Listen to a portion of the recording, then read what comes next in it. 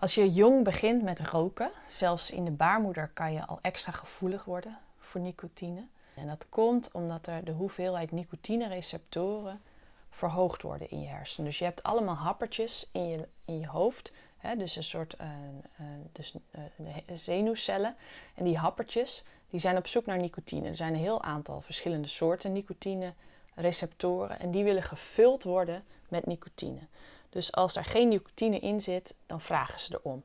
Maar als je nooit nicotine hebt gerookt, dan zijn die nicotine-receptoren in heel weinig aantal aanwezig in je hele lijf. En ook niet gevuld uh, met uh, nicotine van buiten. Er zitten vaak wel andere stofjes op. Uh, en hoe jonger je begint met roken, hoe groter de afhankelijkheid vaak wordt van die nicotine. Als je blootstelling bijvoorbeeld in de puberteit al hebt. Hersencellen reageren uh, sterker op nicotine als als je vaker hebt gerookt.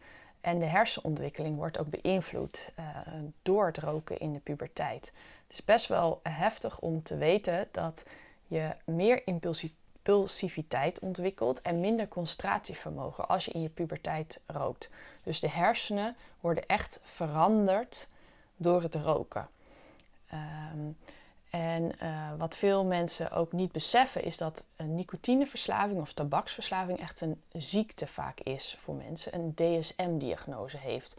En uh, als je dus iedereen met een nicotineverslaving uh, een ziektediagnose meegeeft, als je dat onderzoekt van hè, of die criteria voldoen voor deze persoon die je voor je hebt, dan besef je ook, oh deze persoon heeft deze ziekte, dus ik moet hem behandeling aanbieden. En wordt het veel minder vrijblijvend om iemand uh, wel of niet te helpen met roken. Want als je de diagnose diabetes of depressie diagnosticeert, dan um, is het gewoon uh, normaliteit om iemand goed te begeleiden tot iemand um, um, bijvoorbeeld een, goed regulerende diabetes heeft of een depressie die uh, goed onder controle is.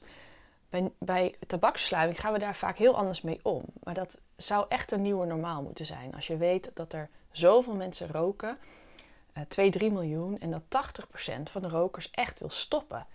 Uh, en dat je die dus uh, goed moet gaan helpen.